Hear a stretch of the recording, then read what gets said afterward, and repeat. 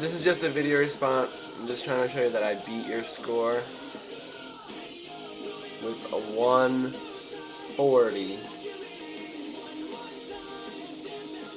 55. Okay? Thank you.